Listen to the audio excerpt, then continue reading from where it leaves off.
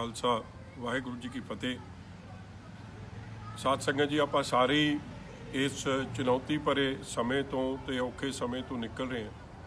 ਔਰ ਕੱਲ ਵੀ ਮੈਂ ਪੰਜਾਬ ਸਰਕਾਰ ਨੂੰ ਇਹ ਗੁਜ਼ਾਰਿਸ਼ ਕੀਤੀ ਸੀ ਤੇ ਅੱਜ ਮੈਂ ਫੇਰ ਆਪ ਦੀ ਗੱਲ ਦੁਹਰਾਉਣ ਵਾਸਤੇ ਕੈਪਟਨ ਅਮਰਿੰਦਰ ਸਿੰਘ ਜੀ ਦੀ ਵਜ਼ਾਰਤ ਅੱਗੇ ਇਹ ਬੇਨਤੀ ਕਰਨ ਵਾਸਤੇ ਤੁਹਾਡੇ ਸਾਹਮਣੇ ਆਇਆ ਕਿ ਕੱਲ ਦੇ ਜਿਹੜੇ ਆਰਡਰ ਹੋਏ ਆ ਜਾਂ 2 ਦਿਨ ਪਹਿਲਾਂ ਆਰਡਰ ਹੋਏ ਸੀ ਕੱਲ ਪ੍ਰਧਾਨ ਮੰਤਰੀ ਸਾਹਿਬ ਬੋਲੇ ਕਿ ਕੋਈ ਵੀ ਆਪਦੇ ਘਰ ਚੋਂ ਨਾ ਨਿਕਲੇ। ਇਹ ਗੱਲ ਬਿਲਕੁਲ ਠੀਕ ਹੈ ਕਿ ਕਰੋਨਾ ਵਾਇਰਸ ਵਰਗੀ ਬਿਮਾਰੀ ਨੂੰ ਸ਼ਾਇਦ ਨਿਪਟਣ ਵਾਸਤੇ, ਲੜਨ ਵਾਸਤੇ ਘਰ ਦੇ ਅੰਦਰ ਰਹਿਣਾ ਬੜਾ ਜ਼ਰੂਰੀ।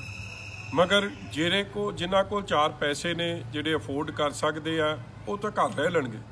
ਮਗਰ ਪੰਜਾਬ ਦੀ ਤੇ ਦੇਸ਼ ਦੀ ਬੜੀ ਵੱਡੀ ਗਿਣਤੀ ਇਹ ਜੀ ਹੈ।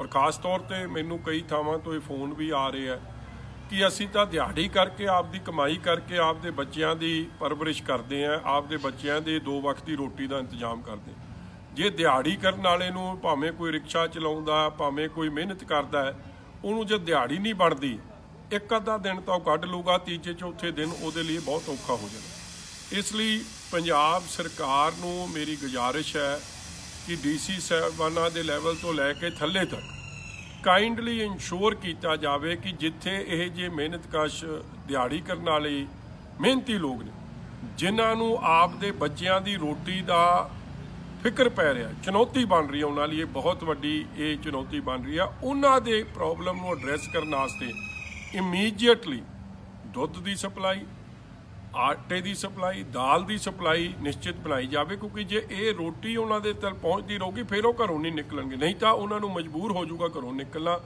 ਮੈਂ ਆਸ ਕਰਦਾ, ਉਮੀਦ ਕਰਦਾ, ਅਸੀਂ ਸਾਰੇ ਪੰਜਾਬ ਸਰਕਾਰ ਦੇ ਹਰ ਯਤਨ ਦੇ ਨਾਲ, ਮੋਢੇ ਨਾਲ ਮੋਢਾ ਮਿਲਾ ਕੇ ਚੱਲ ਰਹੇ ਹਾਂ, ਮਗਰ ਕਈ ਬੇਨਤੀਆਂ ਹੈ ਜਿਹੀਆਂ ਨੇ, ਕਈ ਵਾਰੀ ਜਿਹੜੇ ਧਿਆਨ ਚੋਂ ਰਹਿ ਜਾਂਦੀਆਂ। ਮੈਨੂੰ ਪਤਾ ਤੁਸੀਂ ਆਪ ਦੇ ਵੱਲੋਂ ਸਭ ਕੁਝ ਕਰ ਰਹੇ ਹੋ, ਮਗਰ ਅਪੀਲ ਹੈ, ਬੇਨਤੀ ਹੈ ਸਰਕਾਰਾਂ ਅੱਗੇ ਬੇਨਤੀਆਂ ਹੁੰਦੀਆਂ ਨੇ।